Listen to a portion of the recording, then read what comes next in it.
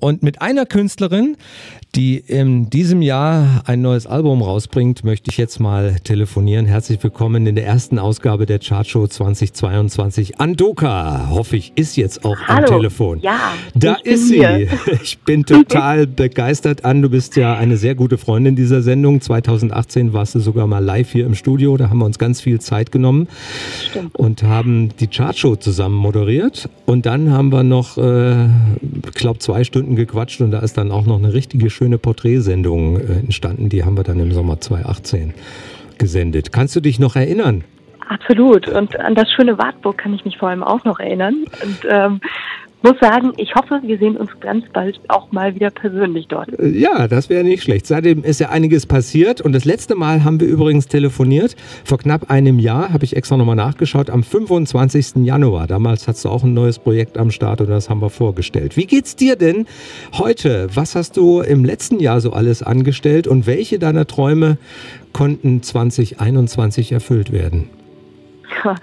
Ja, also äh, neben natürlich ein paar äh, schönen persönlichen ähm, äh, Dingen wie eine, eine Heirat und äh, wir haben kurz vorher drüber gesprochen, ähm, sind natürlich auch musikalisch einige Sachen passiert. Trotz Corona habe ich ach, unglaublich viel Songwriting betrieben. Ich habe ähm, mein neues Nashville-Album fertiggestellt. Wirklich, also ich habe vorhin tatsächlich die letzten Dateien ähm, an meinen Produzenten in Nashville geschickt.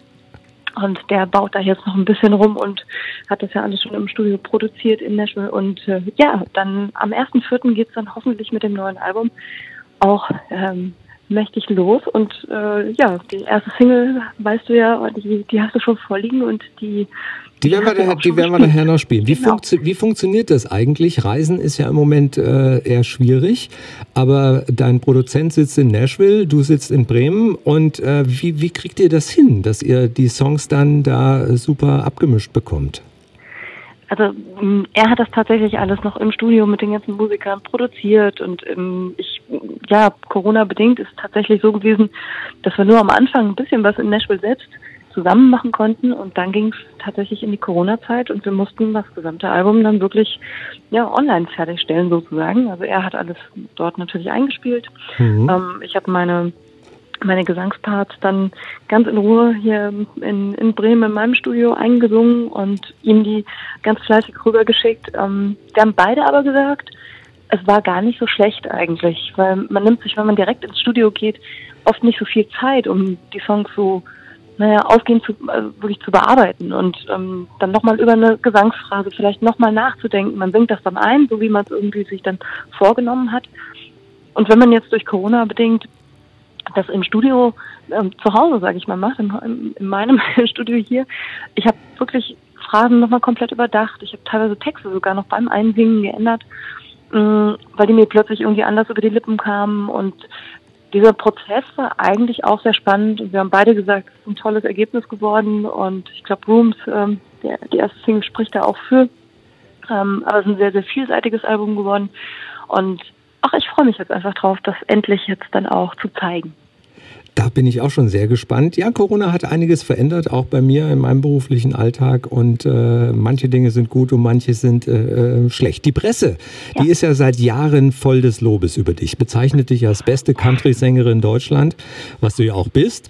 Und auch im letzten Jahr hast du wieder eine Auszeichnung bekommen, und zwar den Internationalen Academia Award in der Kategorie Rising Star. Und für die neue Single, die du schon angesprochen hast und die wir auch gleich spielen, hast du auch einen Preis bekommen. Wie ist das eigentlich für dich? Was, oder was war das für eine Auszeichnung für die Single Rooms? Und wie stolz macht dich eigentlich so ein Preis? Denn ich lese, wenn ich über dich recherchiere, immer, da hat sie einen Preis gewonnen, da hat sie einen Preis gewonnen. Wie, wie, wie, was macht das mit dir? Mm, Bei manchen Preisen freut man sich tatsächlich. Also wie auch jetzt, ähm, du hast gerade angesprochen, ich wurde bei den German Songwriting Awards, äh, kam ich ins Finale mit Rooms, ins Finale äh, Popmusik quasi, äh, was eine sehr, sehr wichtige Kategorie in diesem Preis ist. Und da ging es vor allem auch um Songwriting. Also über diesen Preis habe ich mich extremst gefreut, ähm, weil es halt einfach wirklich da die gesamte deutsche Musiklandschaft in der Jury sitzt und wenn die sagen, Mensch, das Mädel kann irgendwie Songwriten, das, das ist schon ein Lob, was ich gerne annehme und wo ich mich auch wirklich ähm, ja, persönlich dann freue, weil das ist ja meine, meine, ja, meine, meine Kunst und meine Arbeit auch, die ich da mache. Und ähm, also das sind Preise tatsächlich, über die man sich freut. Und ansonsten sind jetzt diese Preise an sich nichts, wo ich jetzt sage, ich, jag da hinterher. Aber natürlich ähm, sehen das auch Veranstalter immer mal ganz gerne, weil sie dann auch das für ihre Promotion nutzen können. Aber ähm, ja, mir persönlich ist es nicht so wichtig, dass ich jetzt irgendwie sagen muss, ich, ich muss jetzt jeden Preis gewinnen. Aber so manchmal, gerade wenn es um das Thema Songwriting geht, tut es eigentlich ganz gut. Persönlich. Das äh, geht mir auch so ein paar Preise, habe ich auch schon gewonnen. Eins, zwei, glaube ich, als, als Radiomann. Äh, neues Album, du hast es schon angesprochen. Am 1. April wird es erscheinen. Wie, An meinem Geburtstag, ja. Das, da müssen wir, äh, ist das ein Montag? Ich glaube nicht, aber da müssen wir um die Zeit mal das, telefonieren. Also dein Geburtstag. Am Freitag, äh, weil neue Musik tatsächlich immer am Freitag ja, erscheint. Und genau, und das ist, äh, dann habe ich gedacht, das bietet sich wirklich an. Das wollte ich eigentlich letztes Jahr schon machen, äh, zumindest rund um meinen Geburtstag. Und dieses Jahr wird es definitiv so sein. Also werden wir dann am 4. April in der Sendung, am Montag werden wir dann wieder telefonieren, dann äh, gratuliere ich dir auch noch. Ähm, äh, wie wird das Album heißen? Das Album heißt House of Change und ähm, ja, geht so ein bisschen zurück auf eine, hm, ich sagen, auf, auf ein, ein Kommunikationsmodell, was äh, sich um Veränderungsprozesse dreht. Und ähm, so war es auch, als ich das Album geschrieben habe. Ich bin sehr viele, durch sehr viele Veränderungen gegangen und ähm, das Modell House of Change besagt, dass man durch alle Räume der Veränderung durchgehen muss, um mit einem Prozess, mit so einem Veränderungsprozess auch wirklich abzuschließen. Und ähm, ja, jeder Song auf meinem Album ist quasi ein vielleicht ein Raum des House of Changes. Aha, ja, der erste Song aus deinem neuen Album, der ist ja am letzten Freitag schon erschienen, am 31. Dezember. Rooms heißt er. Den werden wir mhm. auch gleich hören. Ein preisgekrönter Song, wie wir eben auch schon gehört haben. Um was geht es denn in dem Song Rooms? Das passt ja dann sehr zu dem, was du eben über das Album erzählt hast. Aber Rooms im Speziellen, was, äh, um was geht's da? Mm, es geht um Räume, die vielleicht nicht mehr zu einem passen. Es geht um Räume, die vielleicht nie zu einem gepasst haben. Und ähm, es geht auch um darum, die Räume zu finden, in denen man auch bleiben möchte. Und das ist so eigentlich die, die Hauptmessage, die ich damit ähm, auch in die Welt senden möchte. Gerade auch zum Jahresende hinterfragen ja viele Menschen, bin ich noch da, wo ich gerne sein möchte? Und ist das alles noch das, was zu mir passt? Und ja, unter diesem kleinen Aspekt habe ich auch bewusst Rooms am 31.12. veröffentlicht, einfach zu Silvester, damit sich wirklich jeder mal fragt, ist denn das, was ich da gerade noch habe, passt das noch zu mir und wo will ich eigentlich wirklich sein? Und sich eventuell dann auch gute Vorsätze fürs neue Jahr einfallen lässt. Bevor wir den Song hören, noch eine Frage. Können dich deine Fans, sofern die Corona-Situation es erlaubt, in diesem Jahr auch wieder live auf der Bühne sehen? Irgendwo? Ja, also ich bin natürlich gerade in Planung der Tour äh, für das neue Album.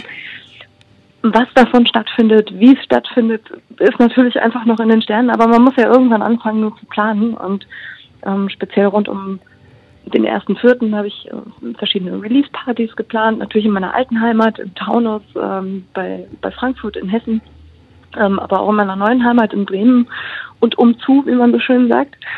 Und ähm, ja, dann geht's weiter. Man guckt ja so ein bisschen, wo, wo es uns dann alles hintreibt. Aber sieht man absolut gerne äh, auf meiner Website natürlich, andoka.com. Genau. Und wir werden wahrscheinlich auch äh, zwischendurch nochmal telefonieren, denn im Februar kommt dann, glaube ich, schon die zweite Single vom Album. Ja. ja, äh, darf ich, darf ich schon verraten, oder? Natürlich. Ja. Deswegen telefonieren wir hier.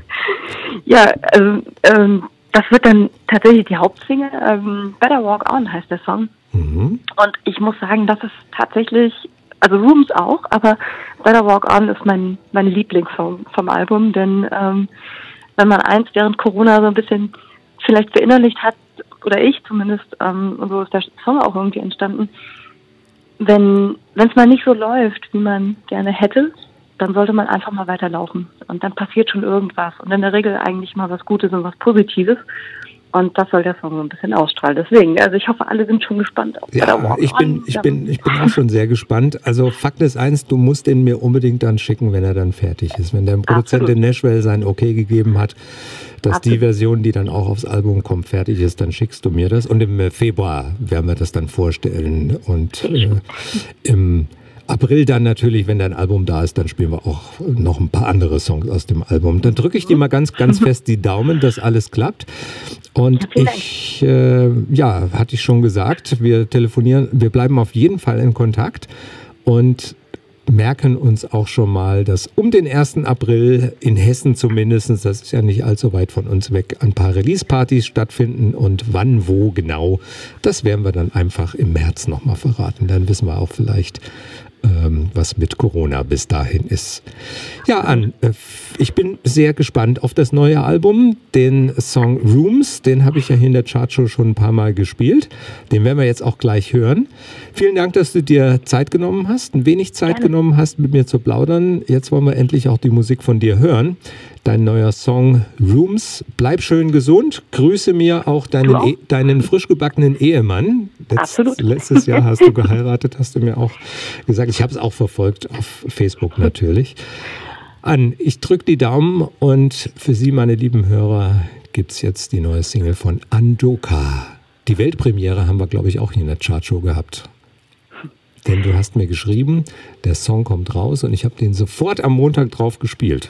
Genau, richtig. also war es wahrscheinlich wirklich die Weltpremiere, das stimmt.